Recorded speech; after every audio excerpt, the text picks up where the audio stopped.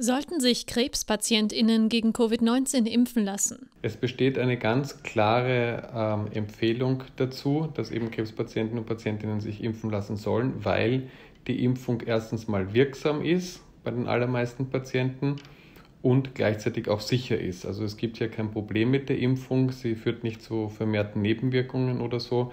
Daher ganz klar die Empfehlung, sich impfen zu lassen.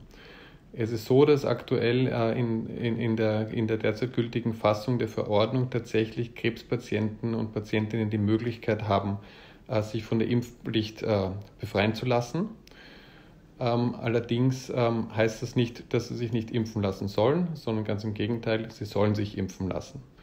Es ist ja zum Beispiel auch so, dass ich gesetzlich nicht dazu verpflichtet bin, eine Haube im Winter zu tragen ähm, es aber trotzdem machen werde, um mich vor Erkrankungen, äh, nämlich Ohrenschmerzen, zu schützen. Warum wurde die Impfpflicht für Krebspatientinnen aufgehoben? Also es ist jedenfalls nicht evidenzbasiert in dem Sinne, dass irgendein Problem mit der Impfung äh, besteht bei Krebspatienten. Noch einmal, die Impfung ist wirksam und sicher bei Krebspatienten und daher auch allen Krebspatienten äh, empfohlen.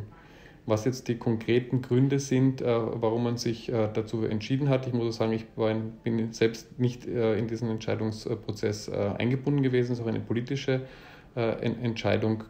Bei welchen Krebsarten haben PatientInnen ein besonders hohes Risiko für schwere Covid-Verläufe? Es gibt ähm, unter den Krebsarten solche, die haben ein besonders hohes Risiko für schwere Covid-19-Verläufe, zum Beispiel äh, Lungenkrebs.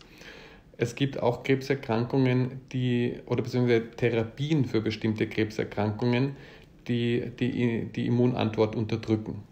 Manche Patienten und, und Patientinnen mit Lymphomen oder Leukämien, also Krebserkrankungen des Blutes, des Immunsystems, kriegen Therapien, die das Immunsystem so schwächen, dass sie schlechter äh, eine Impfantwort äh, ausbilden können.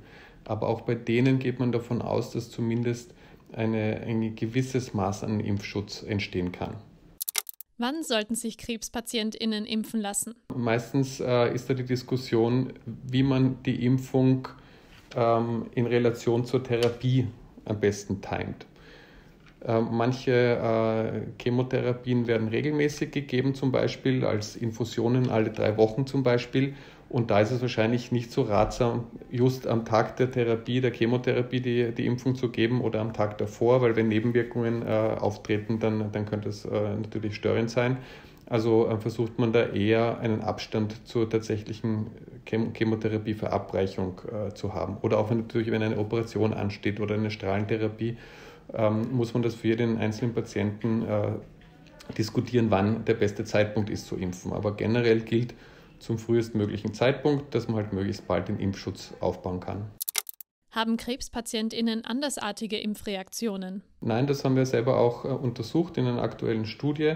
Äh, die Nebenwirkungen unterscheiden sich nicht zu denen, die wir bei, bei gesunden Personen sehen. Äh, also da, da gibt es keine besonderen Dinge, auf die wir aufpassen müssen.